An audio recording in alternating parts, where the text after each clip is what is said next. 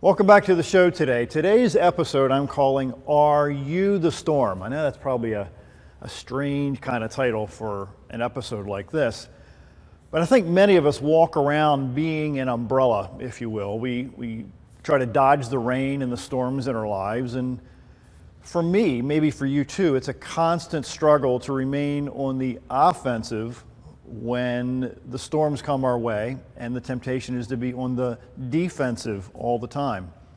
There's an organization that I ran across a few years ago called 556 Productions. You might want to look them up. Again, 556 Productions.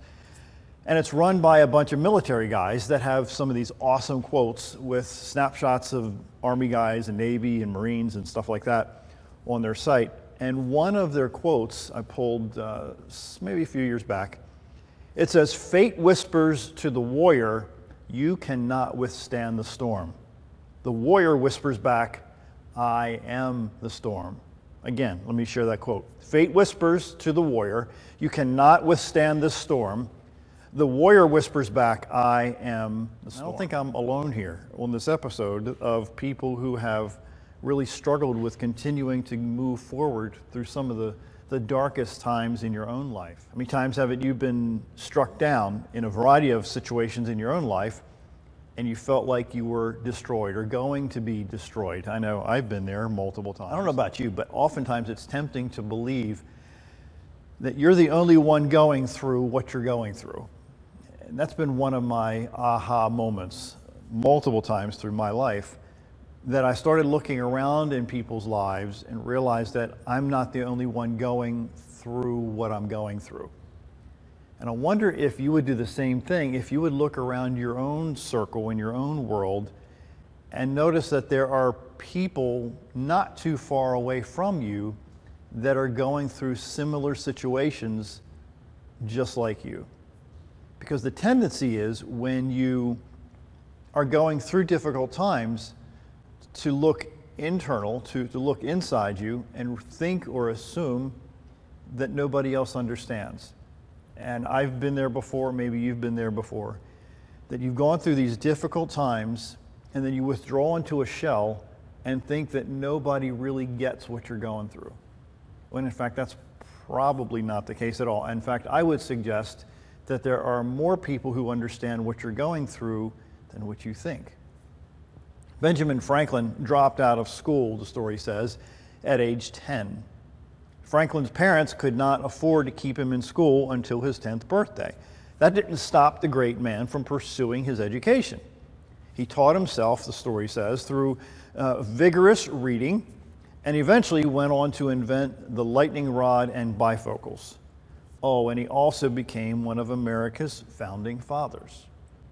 Another story Thomas Edison failed over 1,000 times before creating the light bulb. Although the exact number of tries has been debated, ranging from 1,000 to 10,000 attempts, it's safe to say that Edison tried and failed a whole lot before he successfully created the beacon of light. His, his response was very interesting. He said, I've not failed, I've just found 10,000 ways that don't work. I've just found 10,000 ways that don't work. Have you ever been tempted to look at what's going on in your life that it's not working and you assume that it won't work ever? So then you stop in your tracks, or maybe you start building the foundations of ideas and concepts and goals and dreams, and then you just stop every so often because you get discouraged. It's really, really hard to look past what's going on in your life to see what can happen in your life down the road.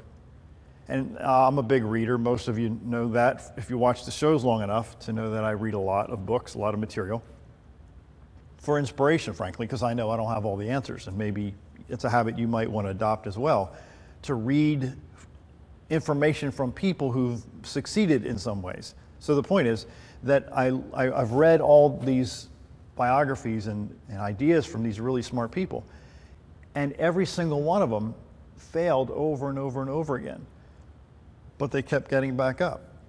And I'm wondering if maybe you have been tempted to, when you've been down, when you've had the rug pulled from under you, and now you're on your back, people around you laughing at you and assuming that this or that about you, that oftentimes it's tempting to just stay down instead of to keep getting back up. I, can remember reading a quote several times by Muhammad Ali, who was a boxer, a pro boxer. And the long and short of it is, at least it seems to be in his quotes, that he did not feel like practicing all the time. He didn't feel like getting up early and going to the gym and working out and doing all the things that he had to do in order to become successful.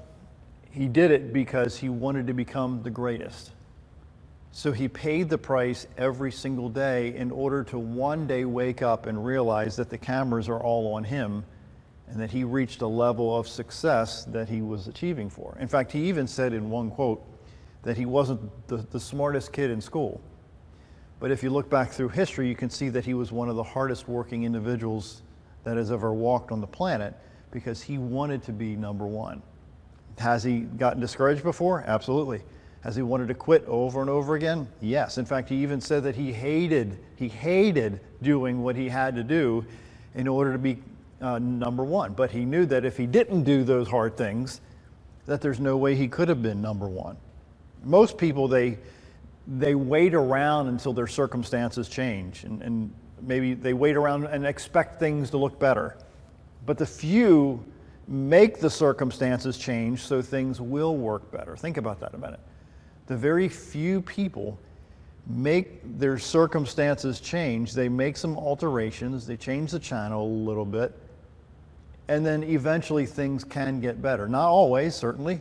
There's, there's an exception to that but many times things can get better as a result of changing some of the situations in your life and maybe the people in your life, the circle in your life that can create the change that you're looking for.